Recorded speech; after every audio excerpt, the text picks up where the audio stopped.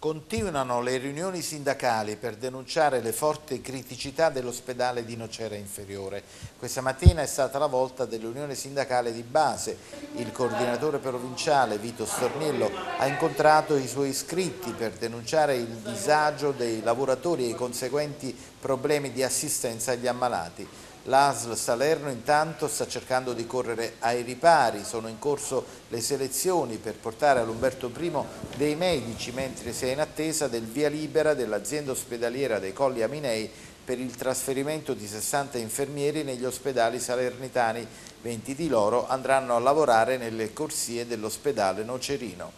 Sulla vicenda è tornato il consigliere regionale di Fratelli d'Italia, Alberico Gambino, in una nota critica quanto il governo nazionale sia responsabile, a suo dire, della sanità campana e prende atto delle osservazioni che anche il presidente Vincenzo De Luca ha preso nei confronti dell'esecutivo Renzi. Il governatore De Luca, scrive Gambino, inizia ad adottare gli atti deliberativi di giunta regionale finalizzati a concedere il dovuto ed obbligato accreditamento al centro radioterapico d'Agosto e Marino di Nocera Inferiore, come anche garantito il Consiglio regionale il 16 febbraio scorso in risposta ad una mia specifica interrogazione consigliare in attesa di concretizzare il centro radioterapico nell'ospedale Andrea Tortore di Pagani che richiede tempi lunghissimi, come ben sapeva il governatore De Luca anche il 18 gennaio 2016, allorché quantificò e codificò i tempi di realizzazione in meno di un anno.